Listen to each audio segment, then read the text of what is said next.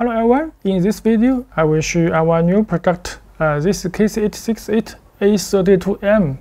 You can see uh, this is a PCB board and this is the back and this is in front.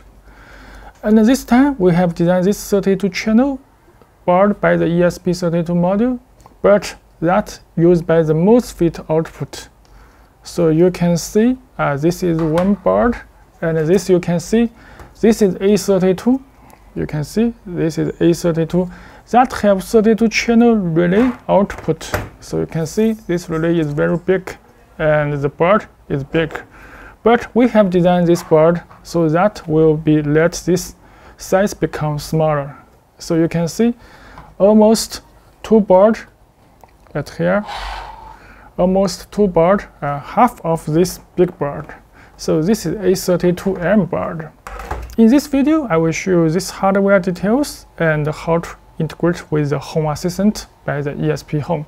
Also, you can write any Arduino code to this ESP32 module. Okay, let's look at these hardware details.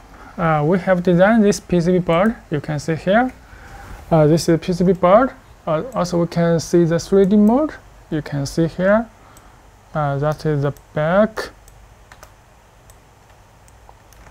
and this is in front. And the 2D mode.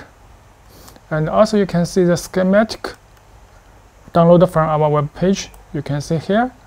You can download from the KinCony and the software and document you will see. Uh, this is A32M we have already uploaded to our web page. So you can just click and you can download the schematic. So that you can understand the hardware easily and here you can see the details, every pin, what is the function. You can see here, that is the power supply and analog input and the RS485.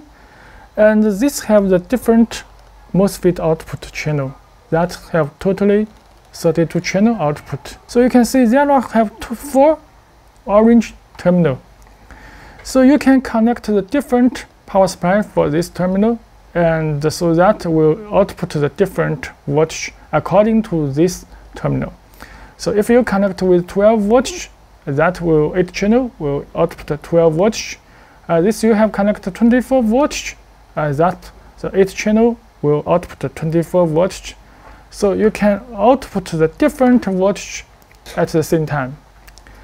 And here you can see that the ESP32 module and this is for the Ethernet, and this is USB Type-C. Uh, you can download Arduino code or download the ESP Home and download from the Home Assistant.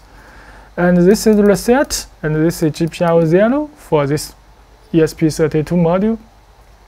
And there are some sockets. This is for 2G module, and this is for 4G module. You can see uh, this used by the 2G module. You can plug in this module. SIM 800, this is 2G module. This is cheap. But if you want to use the 4G module, you can see uh, this board I have connected with the 4G module. So, so you can see uh, just fixed by the metal and insert the SIM card. And also you can see this is socket. We can use this RTC module. That is DS3231. You just plug into this socket and we'll use this battery to save the system clock time. And uh, you can see this board I have connected with the all module, uh, 4G module and RTC module. And also you can see here that have a socket for RF433 MHz receive module. Uh, you can see here uh, that is receive module. You can plug in it, then you can use the remote uh, and the remote control this every output channel. So you can see this board I have connected with the power supply 12 volts. I have connected this uh, four orange terminal together all for the 12 volt, 12 volt, 12 volt together. So that the 32 channel will output 12 volt because I will show you the demo for the Home Assistant. This board also supports install the plastic shoe. You can see this is the cover and this is the bottom plastic shoe. And this should also support install to the DIN rail uh, to your power distribution box.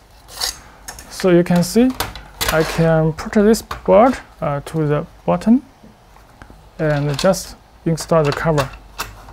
So that you can install this box to your DB and so you can see this is in front the Ethernet part and the USB part and the button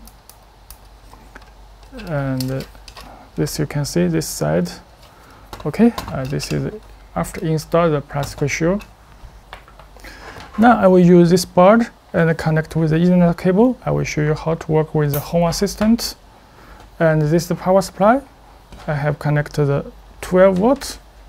And you will see uh, this red LED is on.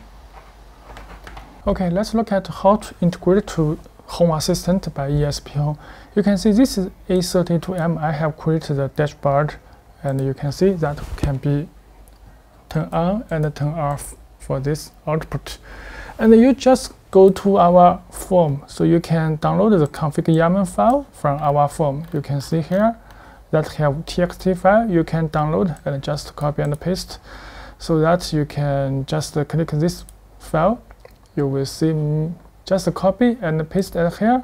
You can see the ESP home and you can create the A32M. So I have already created and online. So you just can create and paste all code at here and just click install and by the USB cable. So make sure you have connect with this USB cable uh, from your Raspberry Pi.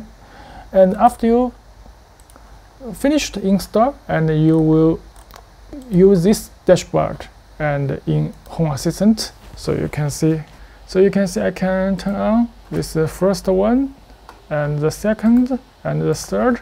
So you can see uh, there are three LEDs. This time you can remove your USB cable and only the network cable can work. And uh, you can see let's turn all off. So you can see all off. If I turn all on, so you can see uh, this 32 channel all is on. So you can connect with this terminal to your external relay or external device, just a DC device. So you can see I can turn all off uh, this is the speed for the Home Assistant and all on. So you can see that can control by the Home Assistant, uh, by the PC or by your mobile phone. Thanks for watching.